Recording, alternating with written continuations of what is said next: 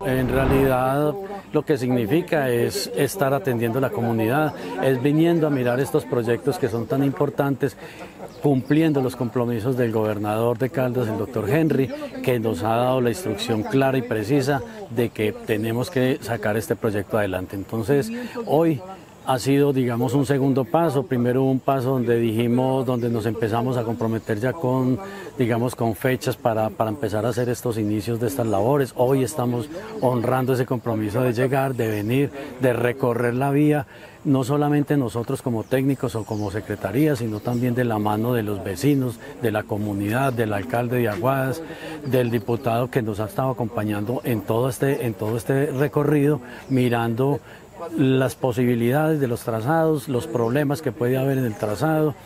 Y ese es el inicio de todo esto. De la mano de la comunidad podemos empezar a trabajar, podemos seguir adelante. Vamos, eh, en adelante vamos a tener que utilizar unos trazados sobre unas cartografías.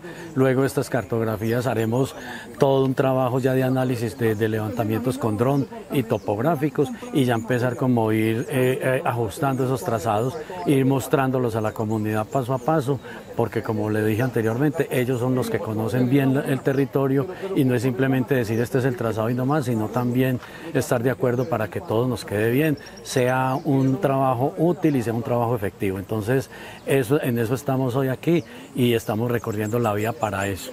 Sí, hoy iniciamos pues ya con, la gobernación de Caldas, pues gracias a, que el gobernador también está muy interesado y está dentro de sus programas prioritarios en este plan de desarrollo departamental para este cuatreño, de que tengamos pavimentada esta vía.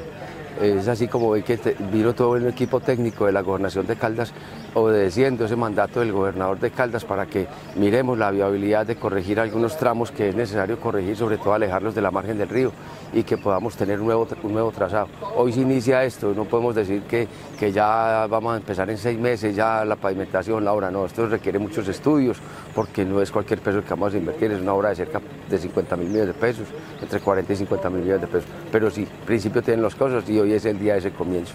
Yo creo que es el compromiso mío, es el compromiso es el querer, es el sueño de toda la vida de los aguadeños, de los pacoreños. Somos 50 mil habitantes en esta zona y seguimos llegando por una trocha. Por fin tenemos un gobernador, pero un gobernador de verdad para Dios. Ese que le interesa a la gente. Ese hombre que está allá y que hace la tarea y hoy tiene la voluntad política de que por fin, después de tantísimos años, pavimentemos el plan del oro.